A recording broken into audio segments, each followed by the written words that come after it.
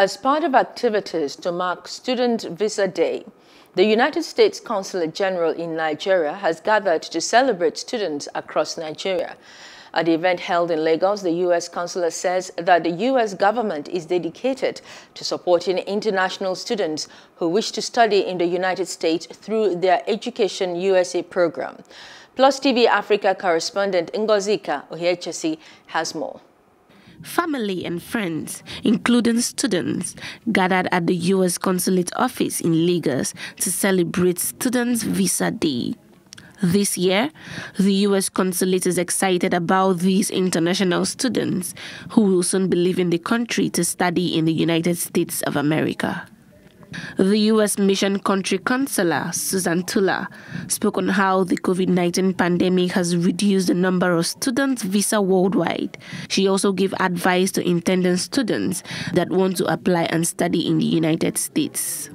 Although the pandemic has really affected our ability to provide visa appointments, Mission Nigeria continues to prioritize our students and we're on track to be able to offer interviews to every single Nigerian who's been accepted at a U.S. university or college so that they can interview for a visa in time to start school later in the summer.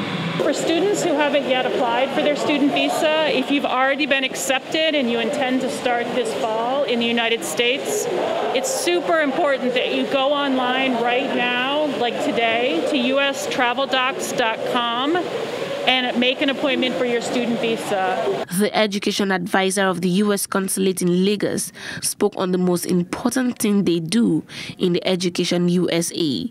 She also advised the students to be focused as they leave to study in the U.S. We do some career counseling in case a student is undecided about what they want to study or confused about where to focus on. The beauty about the American education system is that no student has to focus on only the sciences or only the arts or only the humanities. You can mix and match.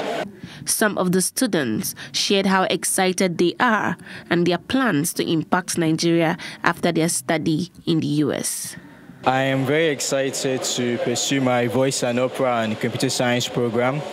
I've had a passion for music since I was young, and I was very glad I was able to uh, apply to a school like Northwestern because they have a fantastic um, schedule and plan for the dual degree program? Well, when I finish my studies as an um, health science major, I'm going to pursue a degree in medicine, and then I'm going to come back as a medical doctor and work in any um, reputable hospitals and help the sick. According to the U.S. Mission Country Consular, she said that those students who have been accepted at a U.S. university but have not applied for a student visa yet are encouraged to do so as soon as possible.